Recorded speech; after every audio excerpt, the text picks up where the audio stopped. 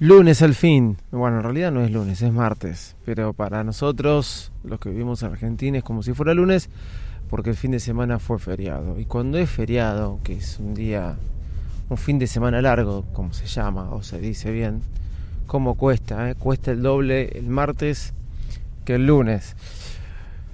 De esta manera arrancamos un nuevo episodio de Baris Max. Soy arroba de Loco. Y arrancamos, vamos. Baires Mac, el podcast más desprolijo del mundo.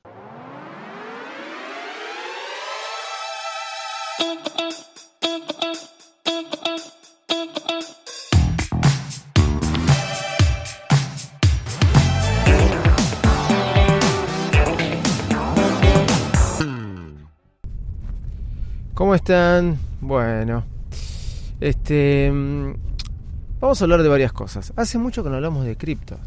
Hace mucho que no hablamos. Estuvo en una meseta el tema.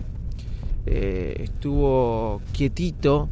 Eh, se mantuvo entre los 30 y pico, 33, llegando con picos de 40. Parece algo casi lógico. Cuando antes hablaba, nos habíamos acostumbrado a un precio entre 50 y 60. Bueno, está. Está este, la moneda que yo más había invertido, ADA, eh, llegó a 2.30 y ahora está en 1.11.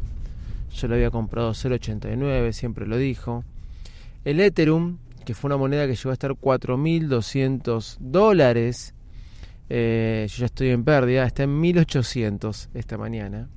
Y el Bitcoin, sí, está en 31.500.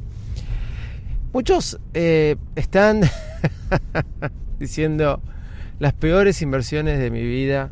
Hice esto entre febrero y marzo y abril cuando era una locura. Mayo y junio son dos meses para el olvido.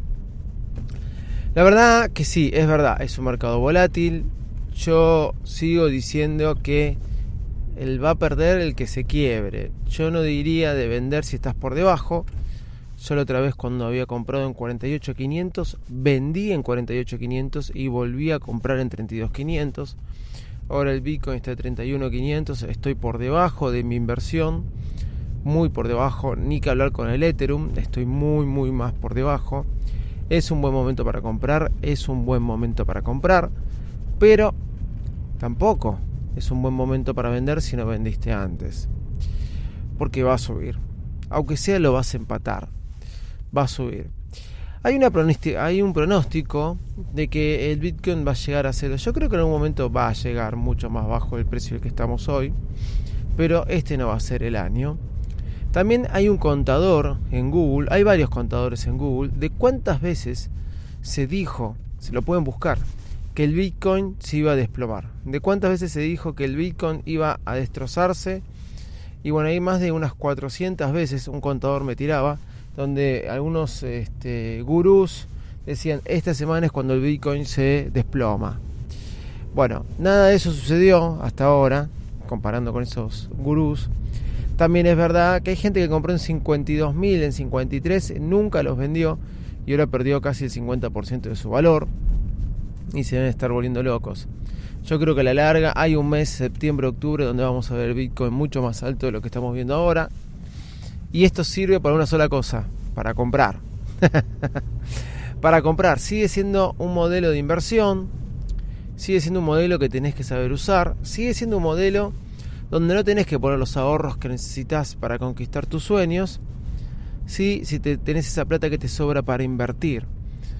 ¿Por qué uno está tranquilo? Porque fuese, vas a decir, no me sobra plata para invertir, no inviertas, pero siempre te tiene que sobrar plata para algo, para ahorrar, es siempre el consejo que doy.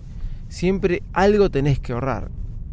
El viejo refrán es el ahorro es la base de la fortuna o esas cosas y vas a decir no tengo ni para ahorrar. Bueno, es entendible, pero que hay hay que tratar siempre de ahorrar, más en Argentina es muy difícil ahorrar. Pero que sea un centavo, siempre es bueno ahorrar aunque sea un poquito, tiene que estar dentro de tu presupuesto.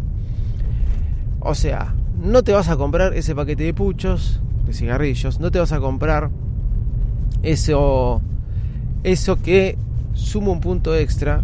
Obviamente hay gente que le alcanza con lo justo para comer, pero siempre hay que tener un back. Siempre hay que lograr tratar de tener un ahorro.